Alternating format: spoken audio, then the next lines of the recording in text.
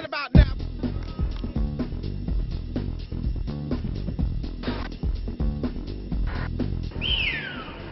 सीटी बजाना बार बार घड़ी देखना और ताली बजाकर खिलाड़ियों की हौसला अफजाई करना। ये तरीके हैं कौमी क्रिकेट टीम के कोच डेव वाटमोर के। कभी बॉलर को टिप्स देते देते खुद ही बॉलर के अंदाज में बॉलिंग करना।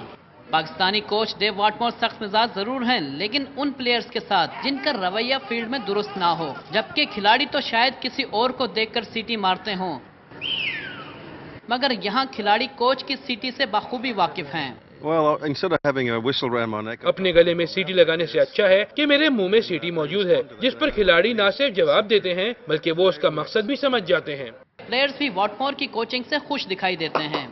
यूँ तो पाकिस्तानी क्रिकेट टीम की कोचिंग के लिए कई गैर मुल्की कोचेज आए, लेकिन डेव वाटमोर के सिखाने के अंदाज तो निराले हैं। अब ये खिलाड़ियों पर मुनसर है कि वो उनकी कोचिंग से किस तरह के फ़ायदे उठा पाते हैं। जाफ़र हुसैन, प्रेमदासा स्टेडियम, कोलंबो।